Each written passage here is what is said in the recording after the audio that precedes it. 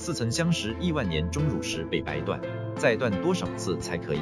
近期湖北一景区亿万年钟乳石被掰断，引起网友的热议。但在今年四月二十一日，山东天然地下画廊景区同样出现亿万年钟乳石比翼鸟被砸断，同样引起热议，至今无结果。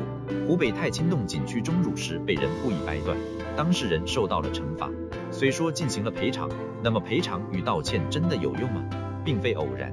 位于山东省临沂市沂水县的天然地下画廊景区江北第一溶洞，在二零一九年四月二十一日同样出现钟乳石被砸事件。事件被各大媒体转载，最终抓获了嫌疑人。